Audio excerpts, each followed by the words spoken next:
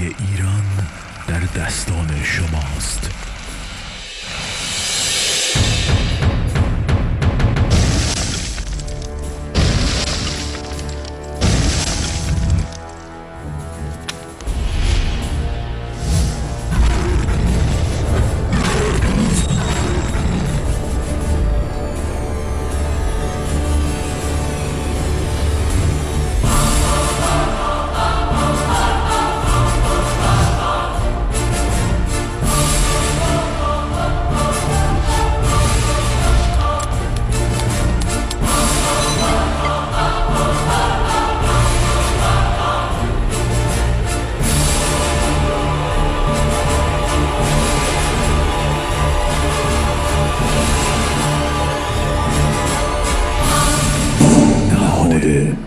مردمی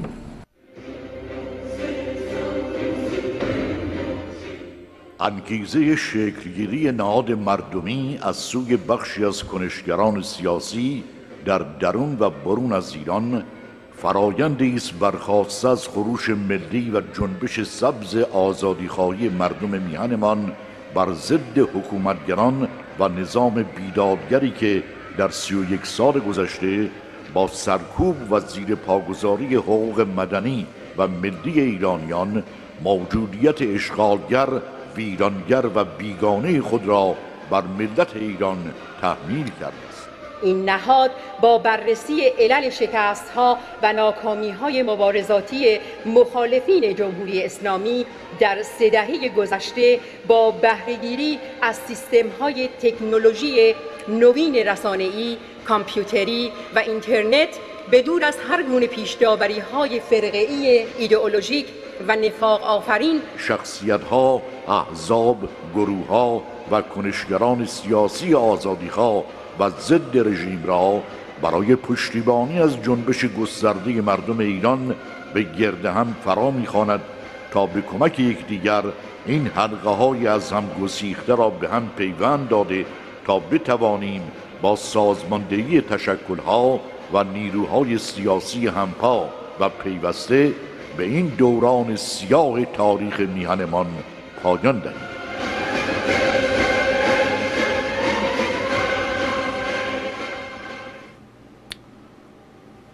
آن زمان که بنهادم سر به پای آزادی دست خود ز جان شستم. دست خود ز جان شستم از برای آزادی. و همیهنان عزیزم در سراسر جهان درود میفرستم. ایرج شاه ولایتی هستم و برنامه امروز نهاد مردمی رو به شما هموطنان عزیز در سراسر جهان پیشکش می‌کنم. امروز با توجه به آنچه که در هفته گذشته هیئت امنای نهاد مردمی پیشگامان نهاد مردمی دست در دست هم در گروه های کوچک و بزرگ با همدیگه در راه انجام اهداف نهاد مردمی. انجام کارهایی که میبایست در گروه های کوچک و بزرگ انجام می‌شد. که خوشبختانه امروز رئیس هیئت امنای نهاد مردمی رو در برنامه امروز خواهیم داشت و خوشحال هستم که ایشون گزارشی در این زمینه خواهند داد و در این حال در زمینه آسیب شناسی اپوزیسیون هم صحبتی خواهند کرد آقای دکتر آرام حسامی. اما قبل از اون هموطنان عزیز باید اشاره بکنم که سالگرد سیوم خرداده سالگرد کشته شدن ندا و نداها سهراب و سهرابها به دست این جانیان حکومت. هموطنان عزیز این کسانی که دستن در کار این حکومت بودند و اتفاقا امروز به خود آمدند و یادشون اومده که چه کارهای بدی کردند در حکومت دروغگویان در حکومت شارلاتانها در حکومت جنایتکاران در حکومت آدمخواران. آقای اکبر گنجی در مصاحبه گفتند که ما دروغ گفتیم. ما به دروغ می‌گفتیم حکومت شاه 150 هزار نفر زندانی سیاسی دارد. و این دروغ بود. و امروز باید بابت این دروغ یعنی خودمان و همه کسانی که این دروغ را گفتند باید خودشان را نقد کنند. آفرین. باریکلا. ما به دروغ می گفتیم حکومت شاه سمد بهرنگی را کشت. ما به دروغ, به دروغ گفتیم حکومت شاه صادق هدایت را کشت. ما به دروغ می گفتیم حکومت شاه دکتر شریعتی را کشت. همه این دروغ ها را گفته, گفته ایم آگاهانه هم گفته ایم اینها باید نقد بشود. کسی که با روش دروغ بخواهد پیروز بشود بعد هم که به قدرت برسد دروغ می‌گوید. برای نگه داشتن قدرت های وسیعتر و بزرگتر می‌گوید. این روش ها باید نقد شود. روش, روش مهم است. البته جوانی نوشتند که باز هم بگویید که در مورد مرگ جهان, جهان پهلوان تختی هم که شما نسبتش را به حکومت گذشته دادید. سینما رکس را که خودتان آتش زدید. و نسبتش را به حکومت گذشته دادید. جمعه خونین را شیخ احمد کافی و گونی ناخونها در زیرزمین ساواک. شکنجگاهی که معلوم شد کارگاه مترو بود فاحشه بودن زنان مقامات در اون زمان و زنان زندانیان سیاسی. ببینید انقدر در اون زمان دروغ گفتند. همین اکبر گنجی ها و یارانشون. و اونقدر اون روز دستاویز این حکومت بودند که حالا خوب امروز به خود آمدند و امروز اقرار می کنند که حکومت دروغین رو پایگذاری کردند. ولی امیدوار هستیم که امروز دیگه دروغ نگویند. معمولا دروغگوها عادت می کنند به دروغگویی. آن زمان که بنهادم سر به پای آزادی دست خود ز جان شستم از برای آزادی. تا مگر به دست, به دست دارم دامن وسالش را میدوم به پای تا سر در قفای آزادی. شیخ از آن کند اصرار شیخ از آن کند اصرار بر خرابی احرار چون بقای خود بیند در فنای آزادی. شیخ بقای خودشو در فنای آزادی می‌بینه. اما ملت ایران هموطنان عزیز این خرداد مقارن است با سالگرد سخنرانی خطبه نماز, نماز جمعه سید علی خامنه ای برای اتمام حجت با معترضان به نتیجه انتخابات دروغین ریاست جمهوری که همه یادمون هست که منجر به کشته شدن ندا آقا سلطان در اعتراضات سی خرداد سال 1388 شد. فراموش نکنید.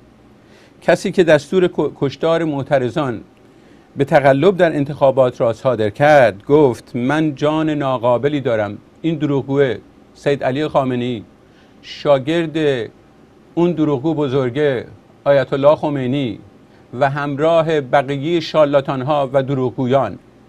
ببینید ببینید چی گفت اون روز. من جان ناقابلی دارم. جسم ناقصی دارم. اندک آبرویی هم دارم که این را هم خود شما به ما دادید. بله. همه اینها را من کف دست گرفتم. در راه این انقلاب و در راه اسلام فدا خواهم کرد. اینها هم نصار شما باشد. در راه بیلیون ها دلار ثروت آقا مشتبا در راه از میان بردن اقتصاد یک مملکت در میان کشته شدن هر روزه و خونریزی جوانان اون مملکت هر روز به بند کشیدن یک ملت. ببینید این دروغگوها چی چی دارن میگن. یه عده از این دروغگوها اومدن گفتن ما پشیمون شدیم. امیدوار هستیم دیگه دروغ نگن.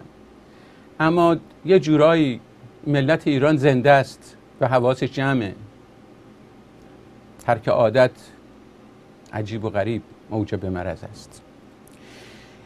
این چهار نفری که وارد از این انتخابات جدی شدن همشون جزو عناصر نظام و متعلق به نظام بودند و هستند. سخنان سید علی خامنه ای در روز سی خرداد سال 1388 که آمده بود به التماس در عین حال که گردن کلفتی هم می کرد ایشون میگه این چهار نفری که وارد عرصه انتخابات شدند همشون جزو عناصر نظام و متعلق به نظام بودند و هستند. یادون باشه چهار نفر کیا بودند یکی از اینها رئیس جمهور کشور ماست آقای احمدی نژاد. رئیس جمهور خودوم پرکار زحمتکش مورد اعتماد. نگاه می‌کنیم بله مورد اعتماد. امروز رو ببینیم. ببینیم چه گرد و خاکی شده امروز. یکی از آنها نخست وزیر. هشت سال در دوران نخست وزیر هشت سال دوران ریاست جمهوری خود بنده است. منظورشون آقای خامنه خودشون. یکی از آنها فرمانده سپاه در سالهای متمادی و یکی از فرماندهان اصلی دوران دفاع مقدس بوده است. یکی از آنها دو دوره رئیس قوه مقننه کشور بوده است. رئیس مجلس شورای اسلامی بوده است. همه اینا رو شما اسامیشون رو می‌دونین کیا هستن. اینها عناصر نظامند. اینها همشون متعلق به نظامند. البته اختلاف نظر دارند اختلاف برنامه دارند. در جهتگیری هم در جهت جهتگیری های گوناگون سیاسی با هم تفاوت های متعددی دارند. اما همشان مال نظامند. چهار نفر از از عناصر این نظامند. این رقابت درون نظام این رقابت در درون نظام تعریف شد. نه رقابت بین درون نظام و بیرون نظام. هموطنان عزیز اینها گفته های خود سید علی خامنه است افسوس گفت به کجای این شب تیره بیاویزم قبای جنده خود را؟ به نام اسلام به نام مردم چه که نمی کند به نام الله که چه نمی کند اما در نهاد مردمی ما با یک هدف و پنج اصل بسیار مشخص و روشن. معلومه از کجا شروع کردیم به کجا می خواهیم برویم. نهاد مردمی متعلق به ملت ایرانه. نهادی است مردمی. با, با این مردم ساخته شده و قرار هست که برای این مردم کار بکنه. به دست شما مردم. نهاد مردمی تا امروز فقط و فقط با کمک مالی یک نفر. یک نفر فقط. و اون هم دکتر ایمان فروتن بود. که تا امروز توانست اون چرا که داشت در طبقه اخلاص بگذاره از دانشش از پولش از وقتش و از عمرش گذاشت برای نهاد مردمی.